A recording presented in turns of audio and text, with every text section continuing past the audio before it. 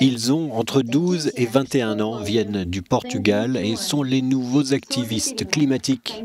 Ce jeudi, ils ont ouvert à la Cour européenne des droits de l'homme une procédure contre une trentaine d'États pour les forcer à assumer leurs responsabilités en matière de changement climatique. Deux d'entre eux viennent de Lisbonne, la capitale portugaise, qui est menacée par la montée du niveau des océans.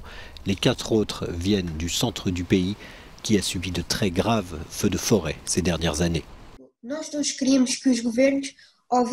Nous voulons que les gouvernements écoutent les scientifiques, car les scientifiques ont des solutions pour améliorer notre futur. Nous voulons que la Cour impose aux États de définir leur politique, d'agir concrètement et avec des délais. Ces adolescents qui marchent dans les pas de Greta Thunberg ont fondé leur action en justice sur l'idée que le changement climatique constitue une menace pour leur bien-être physique et mental.